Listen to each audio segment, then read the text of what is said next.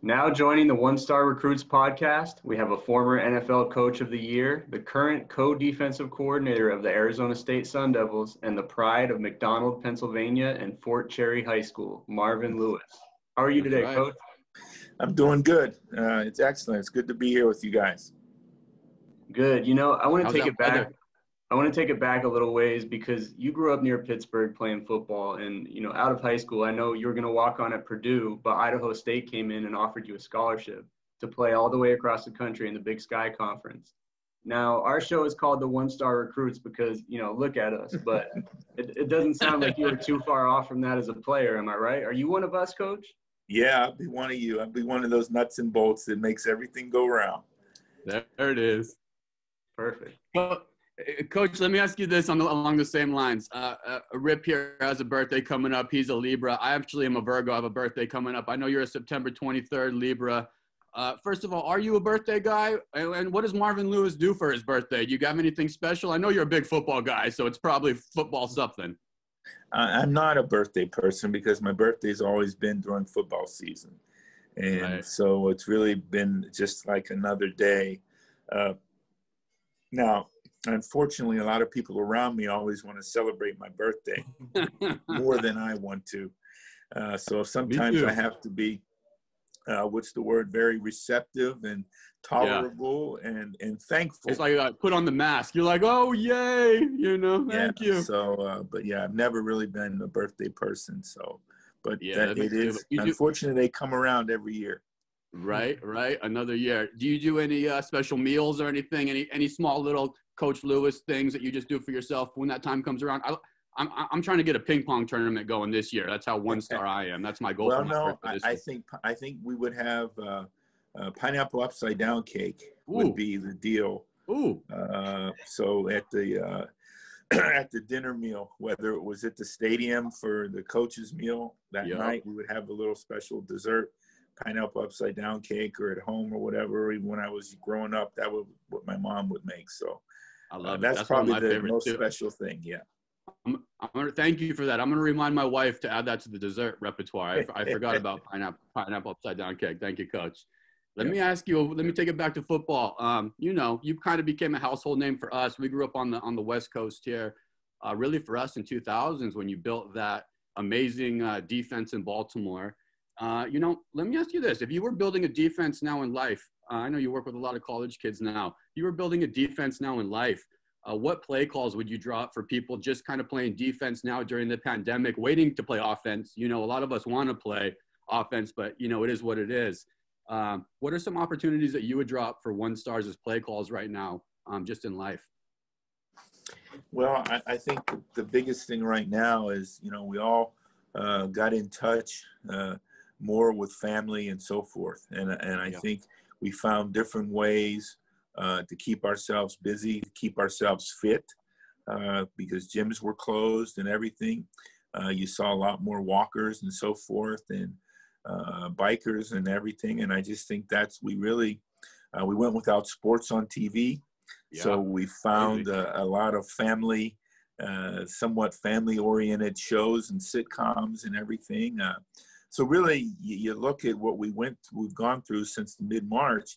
Uh, it's really been a, a, big change in society uh, that way, and then we've gone from that to uh, the, our, our, the social injustice and so forth that's come along with it. So there's been a lot of uh, soul searching, mm-hmm. Uh, a lot of rekindling relationships for some people, and and so forth. Yeah, thank you. And, and in my household too, it's really it's opened a lot of doors and ways of thinking, just in terms of maybe new careers for people or passions that people weren't able to itch before that now they've had some time to to scratch those passions that lead to new beginnings. So that's great advice, coach. Thank you. Coach, we love that, but we've got you on. We got to get to some football. I turned on the TV last night or the other night. I saw Frank Gore's kid playing. So I was like, okay, we're back, baby. uh, which is amazing as a Niner fan. But the Pac-12 isn't playing, and we're Pac-12 guys. So what, what are you doing? How are you keeping these kids focused, uh, or at least kind of eye on the ball? Because I think in January we're looking to play some football. Well, what we've uh, coaches kind of Herm's kind of come up with is we kind of have a four-week rotating schedule, uh, where for the last two weeks Uh, we've spent a, a, day in the meeting room, in the classroom, and a day kind of in the walkthrough mode uh, with the players. And then they've had strength and conditioning. And then the other rotation is just strength and conditioning. And then another rotation where it's just with the coaches.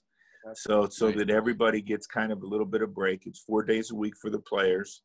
Um, you know, we're still in our morning uh, schedule routine like we would be in the fall here when we practice in the morning uh, that way. So uh, we're trying not to wear out the players, but really have had fun, uh, particularly just teaching guys the essence of football. Yeah, it's amazing. There's really not enough time in college football to teach them what they don't know. So we've been able to try and slow it down and, and, and teach them real fundamentals, basics of football, understanding leverage and uh, inside and outside and what man to man means and what zone means and things like that that sometimes you don't have enough time to go back and, and make sure everybody understands uh, really at the at the foundation uh, of what it, the meaning of it is so so it's been good it's been fun um, you know we are like you said we're trying to keep them focused so that they uh, uh, have the opportunity that when we get a chance uh, to start up, they're they're in good position. Nice. Oh, I love that. That, that. That's awesome because I got to say, as an ASU guy, it's crazy. It is amazing for our fans that we have NFL legendary coaches on our staff. It, it's amazing. It feels it feels surreal it. As an ASU fan. And so, does it feel? I mean, you're in it, and I know you're one of the legendary coaches, but you got Raiders, you got Herm has just developed a, a, beautiful culture and a beautiful staff. Do you see the kids looking at you guys different? Like, this isn't supposed to happen. I'm not supposed to have Coach Lewis here as my defensive coordinator. He's potentially the greatest defensive coordinator of all time, right? So, so cool. the kids look at you guys different or treat you different because you've got that NFL background? Well, I do think you do get to a degree of reverence. I, I, I think there's no question about that. But I think the biggest, the, the, the part of it is, is, you know, every kid, the difference when I was in college football 28 years ago, the NFL, and I was at University of Pittsburgh, my last place I coached in college. We had a lot of NFL players, had a lot of first round draft picks, mm-hmm. but the NFL yeah. was the unspoken word. Now it's expected in three years. That's what's expected by these kids. And I think that's the difference is we're able to really uh, uh, reinforce to them what it takes to make it and stay and play on that level. Um, not just get there, but be able to stay there. Because what they don't understand is you're competing for the job, not just for the season, but but basically week to week. And, and and the understanding the finality. So last season, when different guys would get released, uh, particularly big name, they're like, "Coach, they just cut." So yeah, it's what they do, man. They cut you. and you, are not promised that you're there if you don't perform. And if you can't uh, stay in tow, if you don't know how to do the small things, and, and like if I tell you to wear ASU issue, okay, I don't want to see you in a white t shirt. You know, yeah. that's the easiest part of your day hmm. is how you yeah. got dressed to come over here. You know, that ASU issue is very clean, by the way, too. You guys got some of the cleanest fits out there. Yes. So, so and and they got a ton of stuff. Yeah. So there's no problem for them to wear ASU issue. I, I said, so what if, you know, everybody else, you're right, Johnny. Everybody else here is wrong. Okay. so we would all have, we could have green, we could have purple, we could have a lot of orange, we could have a lot of different colors around here if we didn't do it that way.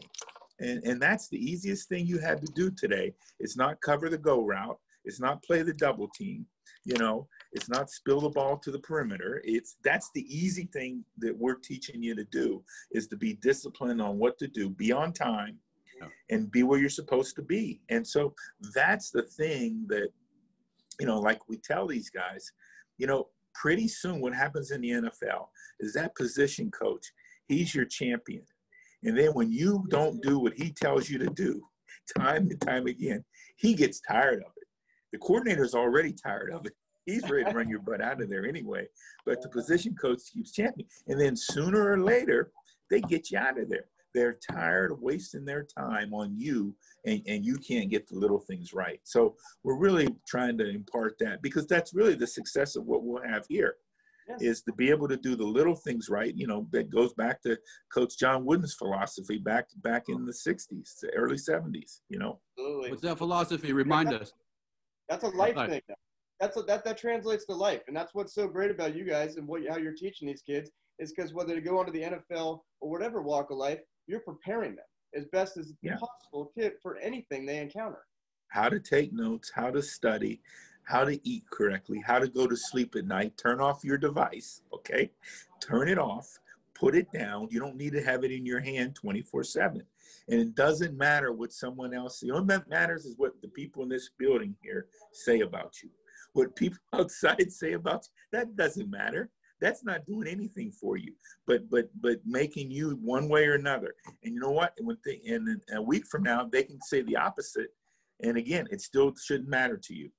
Hey, Coach. speaking of uh, devices, I, I see uh, you joined Twitter a few months ago. How, how's this adjustment been for you? I'm sure you're hearing all kinds of interesting music in the locker room. Are you are you coming back to college? Are you feeling young and hip again? What's going on over there? Well, follow well, you. here here here's that here's that phone. There it is. Okay. oh, yeah, baby. A nice one. Okay, so so that's the the ASU phone, and uh, you know they send me what to retweet. Okay. Gotcha. Okay. Because otherwise, I, I'm no, I'm not like the rest of these guys, coaches in here that are constantly this and that, and they're like, hey, hey, coach, retweet this and follow that guy, and then so they can do it for me. So, uh, coach, we might yeah, have to send it, you. Uh, we, we might have to send you the podcast for a for for for a retweet if you don't mind. Maybe yeah. maybe get part of that, that game flow. Yeah, yeah. It's it's it's part of the process though. But I keep reminding these guys, I tell them all the time, I said, hey, AP, I don't want the guy we got to talk to every day. I said, that guy's high maintenance. Yeah, yeah. you know, if, if, if that's the reason the guy's choosing to come to Arizona State, is that really the guy you want? Right. And, you know, that, that you got to, you know, stroke him each and every, that, that's not, because that's not happening. It ain't happening when he leaves here for sure.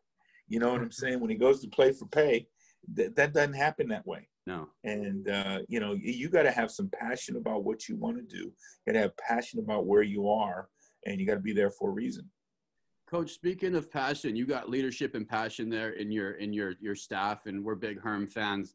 Uh, a couple years ago, I was lucky enough to play golf in one of Herm's uh, foundational events in Monterey, and he's passionate on the golf course. Who's the better golfer, you or Herm?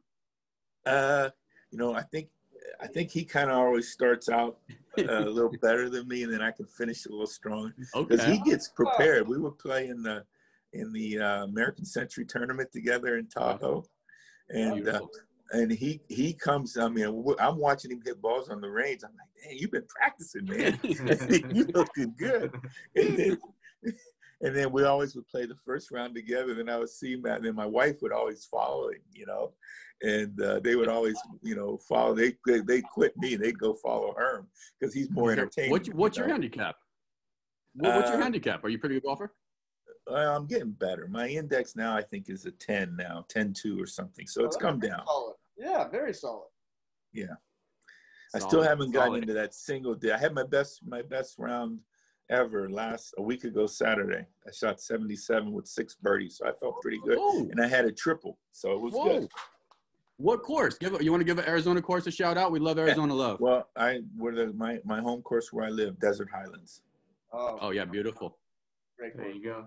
Coach, you know, we end every interview with a rapid fire segment where I give you some quick hitters and you just let me know what comes to your mind when you hear these questions. And, and I have a good one for you because you've lived that coach's life, you know, eight, eight stops in 40 years. And uh, for us, we love food. So I'm going to give you some cities you've stopped in and I just want to hear a couple words about the dining scene. You know, maybe a favorite restaurant or particular food you remember from each place. Does that work? Yep. Okay. All right, let's go all the way back to Idaho. I know you were in Pocatello for about eight years. Everyone always hears about the famous potatoes. What was your top food spot up there in your early 20s?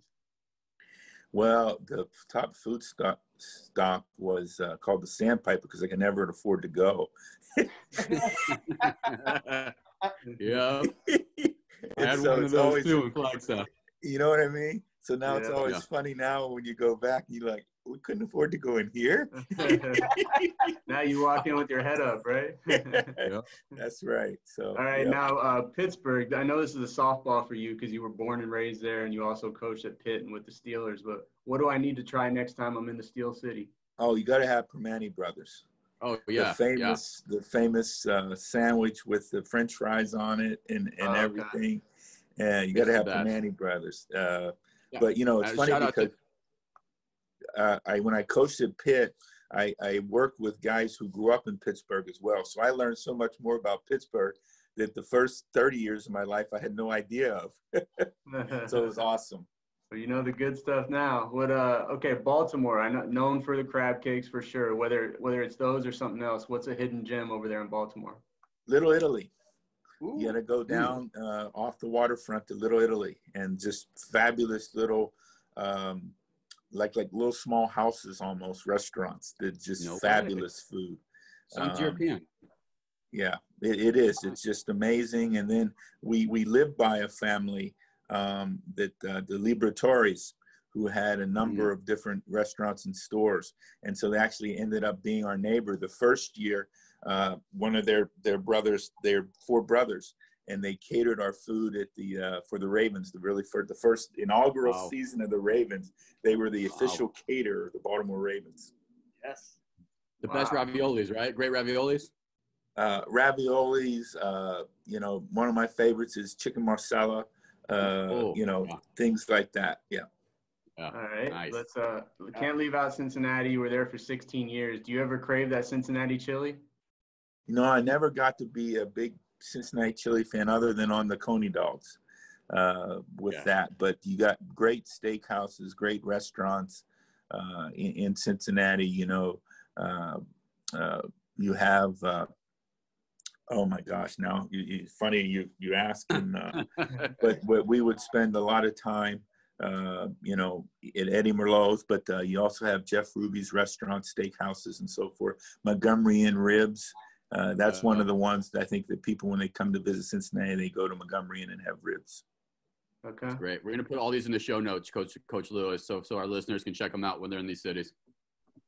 And For last sure. one, uh, last one, Tempe. I mean, DK and I both grew up there, so that one's close to our hearts. You know, he spent almost every weekend at Ted's Hot Dogs over on Broadway in McClintock. Yeah, I love it. What What's been your go-to spot so far?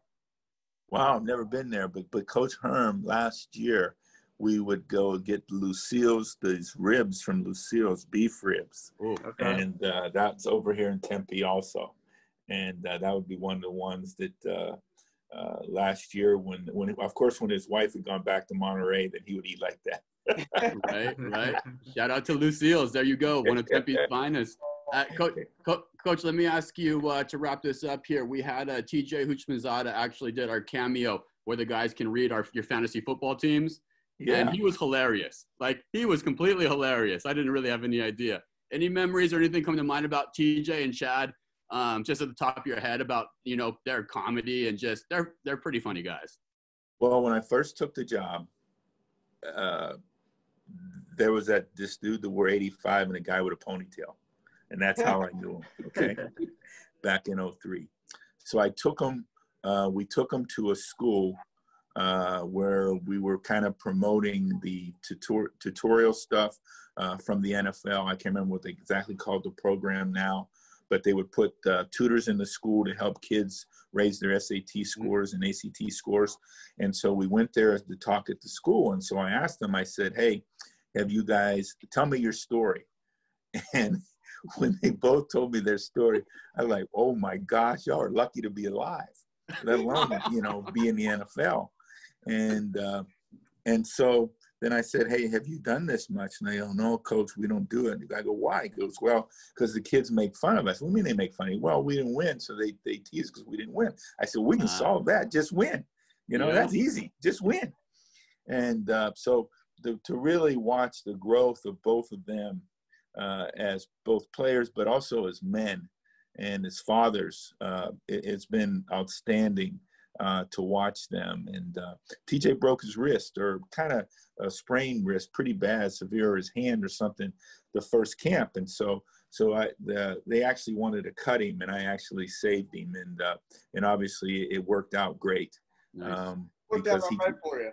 Yeah, and yeah. for him. Yeah, yeah exactly. Very well for him. Oh yeah. man. Well, coach, hey, we'll let you get back to work. Anything for anything you you know, have you spoken to Joe Burrows? Are you are you involved at all with that, or, or, or no? And if you could, do you have any advice for him? No, I haven't spoken to Joe, but the only thing I would say is, uh, you know, he's gone to a city that, uh, uh, you know, is really passionate about their football. Great football. And uh, he seems to have great leadership skills and, uh, you know, the opportunity to make a, a big impact. Um, uh, you know, the hard thing with playing a rookie quarterback is being able to protect a rookie quarterback. Yeah, and, uh, yeah. you know, I think the NFL this year with no preseason games, it's going to be interesting how things come off, you know, um, because to me, a lot of jobs are always decided in the preseason, uh, not, you know, when you're not, you're not playing football in shorts. That, that's just not how it works. So Yeah. I think that'll be interesting. Like a, a life lesson. Well, thank you, Coach Lewis. We appreciate you. You mind signing off for us? Uh, this is uh, Coach Marvin Lewis on One Star Recruits. Hey, I appreciate it. Hey, this is Coach Marvin Lewis on One Star Recruits. Have a great Awesome. day. Thank you, my man. Hey, good luck this season. Uh, if you this guy Stango right here is a very, very good golfer. If you ever find yourself in Newport Beach, give us a buzz. We'd love to take you out. With six birdies, coach, I'll take you out. You, you come on to my team Come on anytime. over. See, see, when I coached at Long Beach State, we, we didn't. I couldn't afford it. I never had time to play golf. Good the man. time. Work before play. All right. Thanks, Coach. See ya. Take care.